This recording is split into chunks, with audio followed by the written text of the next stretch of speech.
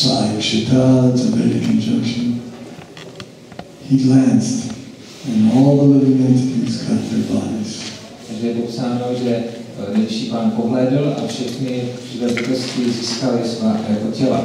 Those bodies are not permanent, they're temporary. So when he gives up one body, then he gets another body, and another body, and another body. No a to tělo, které takhle získali, tak je dočasné, takže vlastně ta živá bytost pak získává další nová a nová těla. The purpose of life is to give up this cycle of birth and death, taking different bodies. A smyslem života je ukončit tady tento cyklus opakovaných eh, rození a přijímání těch těl.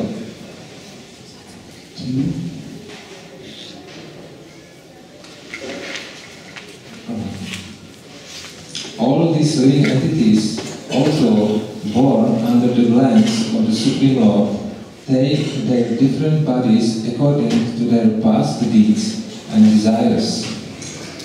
Přestože se tyto bytosti narodily z pánova pohledu, přijímají různá těla v závislosti na svých dřívějších skutcích a touhách. So, the Lord is not directly attached to this material creation. Pán tedy není s tímto hmotným stvořením přímo spojen. Not directly attached. It's going on by remote control. On s tím není přímo spojen, ale děje se tak díky uh, té jako nižší kontrole. Dálkové, jo, remote, uh, ovládání. řízení. It's like someone may have an airplane and these model airplanes. You run it by control, you have remote control and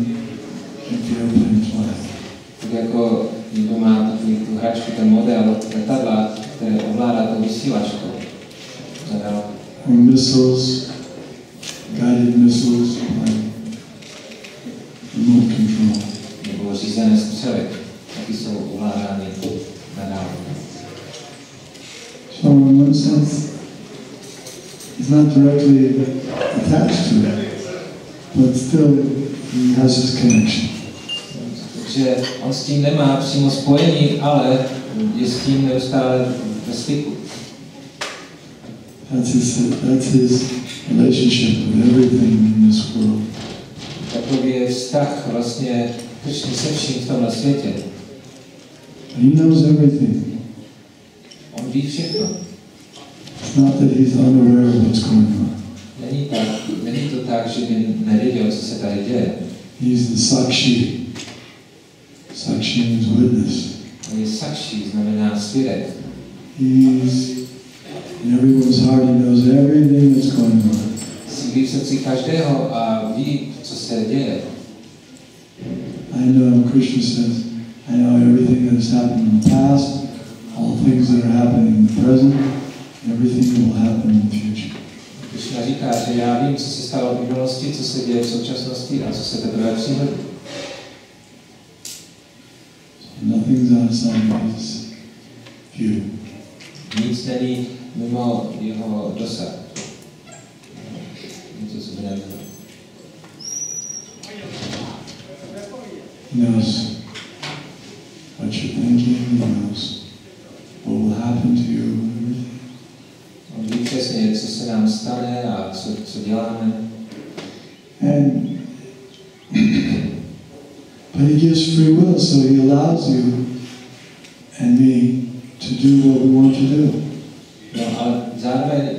ponechává tu svobodnou vůli, že se můžeme rozhodnout, co chceme dělat. It's a perfect system. Je to dokonalý systém. He's the perfect parent. On je dokonalý rodič. He gives good instructions, tries his best, but he gives freedom to the children to choose. On dává dobrou radu, snaží se co nejlépe, ale ponechává na těch dětech eh, to rozhodnutí. Parents are always wondering, should I be lenient? Should I be strict? Rodiče se vždycky ptají, máme být jako přísní, nebo máme být jako, jako schovývaví. Well, Krishna is the perfect parent. He's strict and lenient both. A Krishna je dokonalý rodič. On je zároveň striktní a zároveň velice laskavý. Always with love, but free will. neustále jako s láskou, ale ponechává tu svobodnou vůli. Because he could force everyone to be the way he wants them to then it wouldn't be very enjoyable. Uh, on by měl tu schopnost udělat každého tak, jak on si přeje, ale to, z toho by se nedalo jako radovat. If I program some little robots and I ask them a question and I program the answers, it's not very, it's not very interesting for me. I say, how are you? I'm fine. Kdyby si naprogramoval jako malé roboty a přesně by ti odpověděli na tvoji otázku, třeba jak se máš, a oni odpoví, "Mm, pěkně, dobře. Oh, really? How are you? Tell me how you're doing. I'm fine. Když se ptal, ale prosím tě, tak řekni opravdu, jak, jak se máš? A oni znova jenom jako strojově, dobře, robot. ne, takže to, to je robot. He likes it. He asks, how are you doing? Se tě zeptá, jak se, jak se ti daří? How are you doing? Tak jako Krishna se někdy ptá Gopi, jak sám daří. Don't speak to me, you rogue.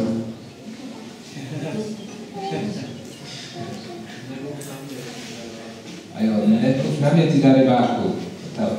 Go speak to someone else. I don't want to talk with, I don't want to see you. Já tě nechci ani vidět, eh, když se baví s někým jiným. Oh, he appreciates that. huh? A Krishna tady to oceňuje velice ještě víc. I'm going to show her running after him with a stick. Ah, he likes that. That's wonderful. Matka She's going to beat me with a stick. He's crying. Tears are flowing from his eyes. matka Jašoda utíká s rukou v ruce za Krishnou a on před ní utíká a pláče, no tak toho jako těší. On si to užívá ještě víc. She's going to beat him with a stick. Ona ho chce zmlátit tou hulkou. He doesn't say, oh, I'm God. How can you do this? A on jí neříká, I'll send you to hell. já jsem Bůh, co mi chceš udělat, já tě pošlu do pekla. No, he likes it. Ne, mu se to líbí. This is more fun To je větší legrace. than hearing the Vedas recited by the scholars. Poslouchat eh, recitaci véd eh, různými učenci. Om Tat Vishnu. No, he prefers the chastisements of his pure devotees. Ne, Krishna má radši, když ho jeho čistí odaní kárají. Okay, continue. Because no, he simply glances over material nature. Material nature is thus activated and everything is created immediately. Because he glances over material nature, there is undoubtedly activity on the part of the Supreme Lord, but he has nothing to do with the manifestation of the material world directly. The example is given Oh, now,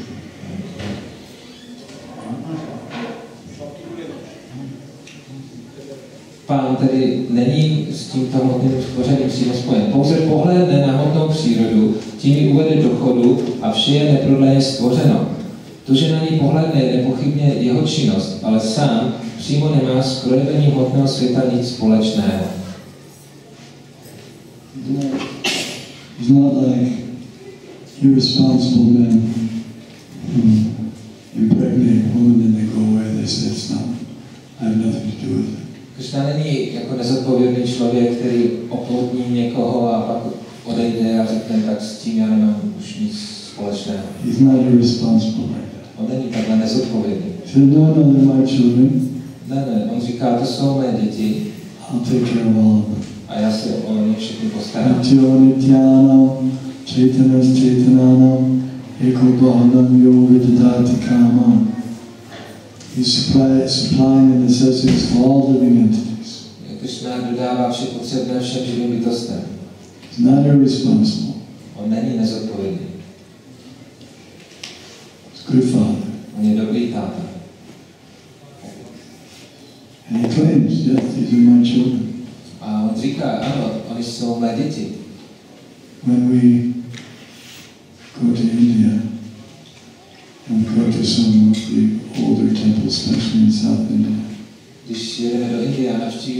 některé z těch starých chrámů, zvláště v Jižní Indii, So you come before the deity and the pujari says, okay, he introduces you. no i- jdeš k tomu božstvu a pujari ti tam jako povede makes an offering to the deity. a udělá ten offering pro božstva. So the pujari says, this is such and such. And his gotra, and he asks you, what is your gotra? A pujari tě představí božstvu a, a zeptá se tě, jaká je tvoje gotra. And in India, different families have different cultures. We, we're not from India, so we don't have those family cultures. A v Indii je vlastně ta tradice, že lidé mají různou gotru, a, ale my to tak nemáme, protože my nejsme Indové. So the devotees ask Prabhupada, what, what gotra are we? журналисты Египта или personalności jakiej do tej patrzymy. Achita Goswami. A Prabhupada tam jest Achita Goswami. From Krishna's family. I patrzymy do Krishnowej rodziny. Our, our lineage was not recognized, but Krishna says, no, no, they're from Achita Goswami, they're from my, they're my children. Ta nasze jako rodowa tak by nebyla uznána, ale Kršna říká, ne, ne, ne, uh, jsme oddaní, tak patříme do Ačita gotry. Not unclaimed children, not Varna Sankara. My nejsme v kategorii Varna Sankara, nechtěné. Maybe we're Varna Sankara, but Krishna has claimed us now. Všichni jsou Varna Sankara, ale Krishna jako ohledně oddaných říká, že u nich to tak není. Now we've surrendered to Krishna through the disciplic succession. Now we're claimed. Now our position is secure. Že tím vlastně, že jsme se, eh, že se oddaný odevzdává Krishnovi, tak eh, se nachází jako v bezpečné pozici. And Krishna, as we heard this morning, is the protector of the devotees.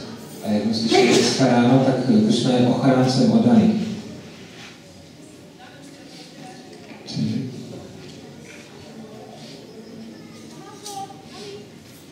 This uh, example is given in the Smriti. When there is a fragrant flower before someone, the fragrance is uh, touched by the smelling power of the person. Yet the smelling and the flower are detached from one another. Smriti uvádí tento příklad. Když máme před sebou vonící květinu, vůně se dotkne našeho čichu, ale přesto nejsou čich a květina navzájem poutány. Yeah, this- the energy of the flower is fragrance, and the energy of the living being is the, the ability to, the sense of smell. Takže ano, existuje ta energie, ta vůně a živá bytost, která má vlastně ten smysl čichu.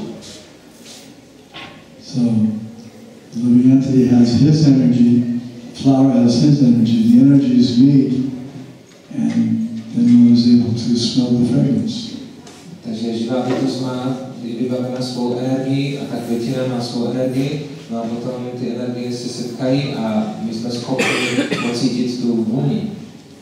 There's an interface coming, coming together of the two energies. Jako kterým, skrze kterého vlastně ty dvě energie můžou takhle komunikovat. So the living entity, he's acting through false ego. He's connected with the material energy through false ego. Živá bytost je vlastně spojená s materiální energií skrze falešné ego. He's identifying himself as being the body, and he tries to act through that body. Stotožňuje se s tím, že je to to hmotné tělo a snaží se jednat skrze to tělo. And material nature is given instructions that fulfill the desires of this living entity in this particular body. A materiální příroda dostala pokyn teďka naplně touhy tady té konkrétní živé bytosti, která má to příslušné tělo. And it's done in such an amazing, skillful way that the living entity actually thinks And he's doing it. No a je to provedeno tak eh, expertně, že ta živá bytost má pocit, že to vykonala sama. He's not actually doing it, but he thinks he's doing it. Ona ve skutečnosti nekoná, ale myslí si, že koná. Difficult to understand how subtle these different energies are working. Je to těžké pochopit, jak eh, jemné jsou tady tyto energie a jak fungují. It's like when the living entity leaves the body. That's death when the soul leaves the body. Tak jako živá bytost, která opustí tělo, tak eh, to tělo je mrtvé. But the materialists think that the person died because the heart stopped beating. Ale materialisté, oni si myslí, že uh, zemřela, zemřel člověk, protože se zastavil ten srdeční průchod. But it's not because the heart stopped beating that the person died. It's because the soul left Ale to není ten důvod, že vlastně je to díky zástavě srdeční, ale je to díky tomu, že duše opustila to tělo. But it's too subtle for the materialists, so they, they just look at the gross effect. Ale pro ty materialisty je to příliš jemné pochopit a proto oni se jen dívají na ty hrubé projevy. When the soul leaves the body, the heart stops beating. Když duše opustí tělo, tak to srdce přestane fungovat. Isn't it? Je to tak. They think the heart stops beating and there's no more life. But no, the soul left, therefore there's no more life. A oni si myslí, ne, e, ten člověk zemřel, protože se mu zastavilo srdce. Ale my víme, že ne, že vlastně díky tomu, že duše opustila tělo a proto to Yes, srdce přestalo fungovat. All oh, right, all right, maybe there's a soul, but when, when the heart stopped beating, then a oni, říkají, oni řeknou třeba, tak dobrá, dobrá, tak uh, nějaká duše existuje, tak, uh, ale teď se zastavilo to srdce a proto ona musela odejít. No, because there are examples of bodies continuing to live even in very precarious situations. Ale ne, jsou příklady toho, že vlastně to tělo může přežívat i za velice podivuhodných okolností. Should have died. Že by, jako, že neumírá ten člověk. Daksha got his head cut off. He should have died. Že Daksha například mu usekli hlavu a on by měl teda podle nich zemřít. But they put a different head on, No ale on, on head dostal of a goat, hlavu kozla and he lived. a žil dál. Wasn't supposed to live with the head of a goat. It's not compatible. Přece nemůže člověk žít s, kozí, s kozlí hlavou, to je neslučitelné. Different organs don't combine together. Body. To přece nejde takhle spojit eh, různé orgány jako z kozla a s lidským tělem. There's a higher power than just even material nature. No ale je zatím vyšší síla, eh, která vlastně ovládá tady materiální přírodu. And even they don't understand material nature perfectly. A i když oni nechápou dokonale tady funkci té hmotné přírody, If someone's supposed to remain in a particular body, they remain there no matter what happens. ale když je určeno, že vlastně ta živá bytost má setrvat eh, v tom určitém daném těle, tak ona tam setrvá, ať se děje, co se děje. Sometimes people try to commit suicide, but they can't commit suicide, they fail. Někdy se lidé snaží spáchat sebevraždu, ale nedaří se jim to, It's not their time yet. Protože ještě nenastal jejich čas a oni v tom těle musí zůstat.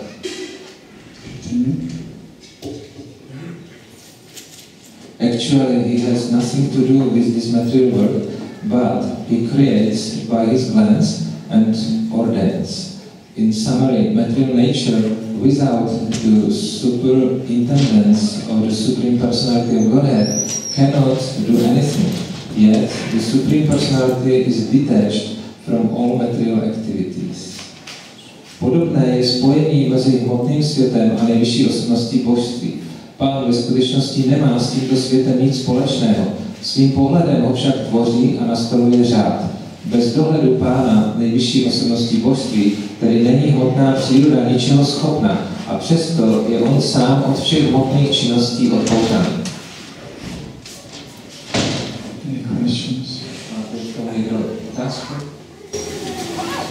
O a mnohdy můžeme vidět, že oni nejsou spokojení s tou úrovní, kterou mají. Jaké je to poselství? You spoke about the different grades of uh, health and happiness in human form of life, and uh, often we see that even devotees are not satisfied uh, on, on their level of happiness and health. So, what's the um, higher message in that?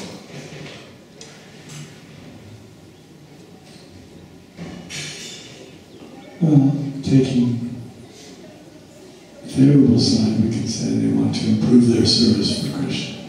Takže oni by z toho si měli vzít vlastně tu dobrou stránku, to znamená, měli by usilovat o zlepšení služby Kršnovi. We can think like that. Můžeme takhle o tom přemýšlet. They want to be more healthy so they can do more service. Že oni si přejí být zdravější proto, aby mohli dělat více služby. They want to be richer so they can do more service. Chci být bohatší, aby mohli dělat více služby. But that's a little, we have to be careful about that because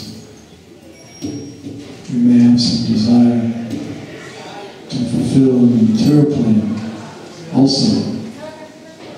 Dávejte si na to pozor, protože mm, my můžeme se dostat do situace, kdy nám tady můžou být v tom naplněny taky ty materiální tužby.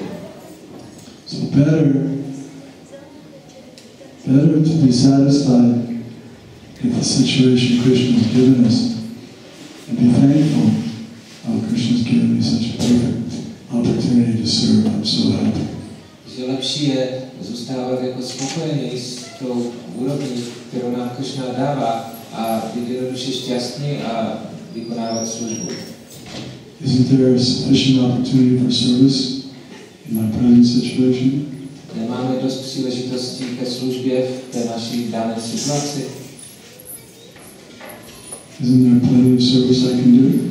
Není tady spousta služby, kterou můžu udělat. Perhaps I could work on my internal advancement. Měl eh, jako na pokroku. Sometimes we get sick, it's a chance maybe for more hearing and chanting. Možná někdy onemocníme a to je příležitost, abychom mohli více naslouchat a zpívat. Krishna's so kind. He made me sick, so now I can spend more time hearing. Krishna je tak milostivý, že teďka jsem onemocněl a můžu trávit více času na slouchání a zpívání. Opportunity. Takže vidět to jako příležitost. Místo toho, abychom naříkali, ne, teď jsem nemocný a nic nemůžu dělat. Bhakti Siddhanta Saraswati Thakur, in his, as he was aging,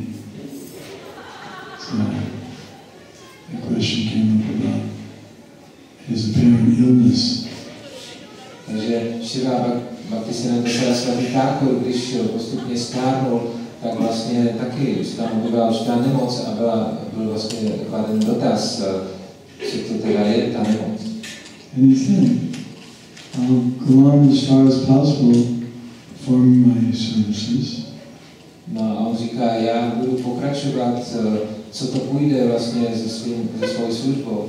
but if I become completely incapacitated, then I'll be confined only to remembering, serving by remembering him. No a když už nebudu ničeho schopen, tak potom vlastně přijdu na tu úroveň, že budu na nejvyššího pána jenom vzpomínat. Still service. Ali Tukipatita. A pořád je to služba. Service can't be interrupted by anything material. Službu služba se nedá přerušit něčím materiálním.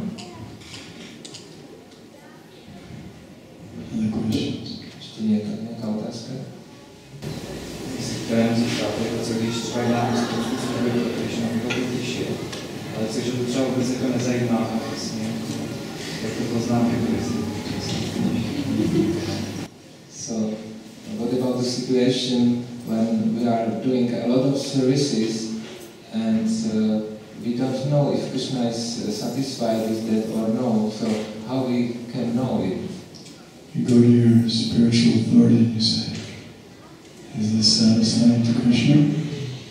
Tak jdi za svoji nadřazenou autoritu a zeptej se jí, je s tím, co dělám Krishna spokojen? He's representative of Krishna. On je představitelem Krishny. And if he's not sure, A když on si není jistý, he'll consult with his authority. tak uh, jdi za, ještě za jeho autoritou. He says, This devotee, what's your name? Jak, jak se jmenuješ? Bhakta Martin. If he's not sure, he says, Let me check. And he goes to his spiritual says, Dr. Martin wants to know if Krishna is pleased with his service. Jasně, takže když ta tvoje bezprostřední autorita není jistá, tak on sám jde za svojí autoritou a řekne, eh, tady je Bhakta Martin a on si není jistý se svojí službou, jestli je Krishna potěšen nebo ne. Spiritual says, What's, what's his service? No a ta jeho autorita se zeptá, a jakou službu dělá. Every day he washes the Lord's plates, dishes, No, on každý den je, je v kuchyni authority says, Of course Krishna is pleased. Tak eh, odpověď je ovšem, ano, samozřejmě je, je s tím Krishna spokojen. Such a wonderful service, direct service to the Supreme Personality of Godhead. Takovou úžasnou službu, je to přímá služba pro nejvyšší osobnost božství. He says, Does Dr. Martin chant his rounds? A zeptá se, a zpívá Bhakta Martin svá kola? Yes, he chants his rounds. Ano, on zpívá. Oh, definitely Krishna is pleased. Tak je jisté, že s tím je Krishna spokojen. Does Dr. Martin come to the Mangalarti in the temple program? Chodí Bhakta Martin na Mangala Arati v, v chrámu? Every day he's there, Ano, je tam každý den. singing and dancing with nice bright tilak. Zpívá a tancuje s krásným světlým tilakem. Oh, definitely Krishna is pleased with Dr. Martin. Tak je jisté, že Krishna je s Bhakta Martinem spokojen. Does he pay obeisances to the deity? Se? Every day he pays dandavats. Každý den dává dandaváty. Does he take prasadam? Přijímá? Oh, he takes so much prasadam. Přijímá velké množství prasáda. It. Krishna je určitě s tím spokojen.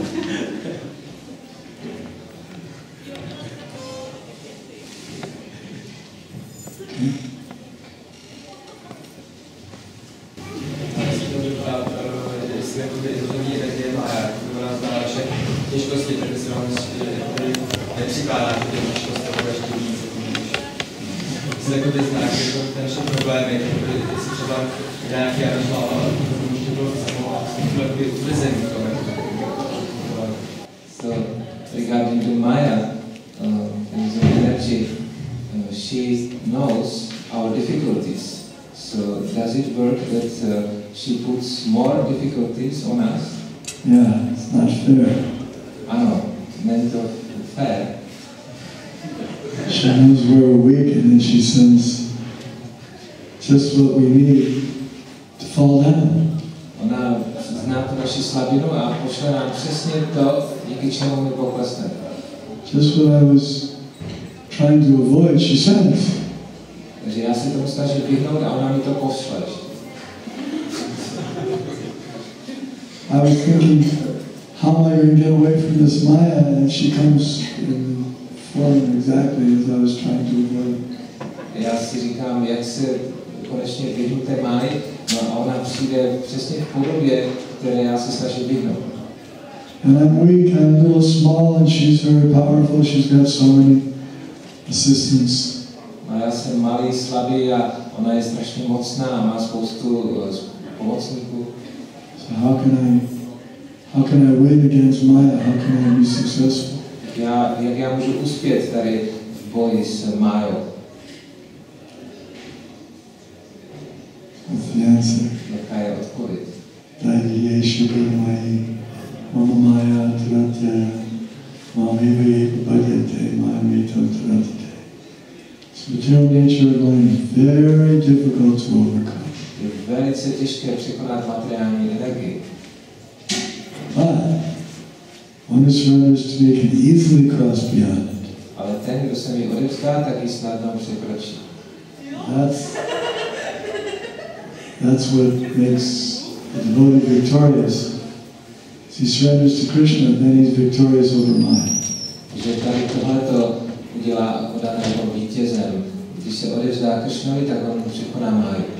And if he doesn't surrender to Krishna, he will be a failure against Maya. Maya will smash him.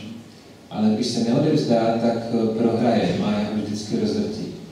So that's the question. To surrender to Krishna or not? Takže je otázka, máme si odevzdat Kršnovi nebo ne? If we're proud, we say, oh, surrender to Krishna?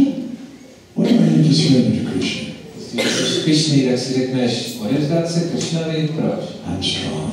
Já jsem silný, I'm intelligent. jsem inteligentní, I'm rich. jsem boháč, I'm famous. jsem slavný, I'm young. jsem mladý, I'm healthy. jsem zdravý. What do I need Krishna for? K čemu potřebuji Kršnu?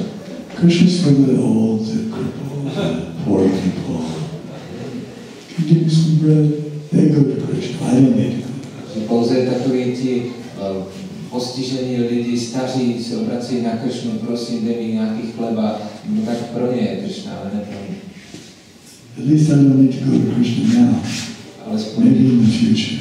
já nepotřebuji Kršnu teď, možná. If I get old, maybe I'll go then. Až budu starý, tak taky možná za I'm old and I can't do anything for myself, I'll go. Ale teď jsem ještě mladý a můžu sám vykonat spoustu věcí. Now, let me be adventurous. Takže teďka nechte mi zažít dobrodružství. I'll climb every mountain. Vy, vyšplhám na každou horu, I'll conquer.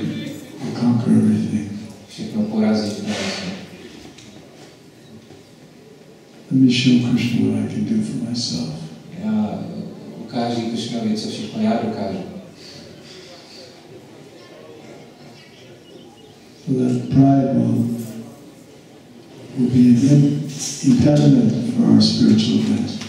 Taková pícha je překážkou v našem pokroku.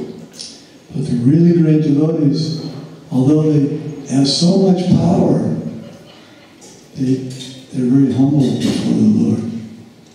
Ti odaní, kteří jsou skutečně velkými odanými, tak eh, oni hm, zároveň jsou velice pokorní před pánem. When Ashwatthama launched his Brahmastra weapon, he didn't know how to withdraw it. A Švathama, když vypustil tu brahmastru, tak on ale neznal to umění, jak ji stáhnout. And it was, it was coming. So Krishna told Arjuna, now you have to, have to withdraw both weapons. Ano, a Krishna dal pokyn Arjunovi, teďka musíš jako obě dvě z- jako zneutralizovat. So Arjuna, before he launched his weapon, he offered his prayers to Krishna. Ale Arjuna předtím, než vypustil tu svoji brahmastru, tak se modlil ke Krishnovi And he was successful. a byl úspěšný. Brahma, before he creates the universe, he prays to the Lord, I'm insignificant, I'm only your servant, I'm only your assistant, please empower me if you wish. Brahma předtím, než začne tvořit materiální vesmír, tak on se modlí ke Krishnovi. Já jsem velice uh, bezmocný a prosím, dej mi inteligenci, jak to udělat. Prabhupada on the Jaladuta ship, when he got off, he wrote a poem, he said, Nacho, Nacho, Papa Nacho. Puppet, you make me dance, make me dance, oh Lord, as you like. Prabhupada, když plul na Žaladutě, tak napsal báseň, ve které říká, že o můj pane, já jsem jenom loutka a prosím eh, zajistí, abych mohl tancovat podle toho, jak ty si přeješ. So that's, that's what makes someone strong and successful, is surrender to Krishna.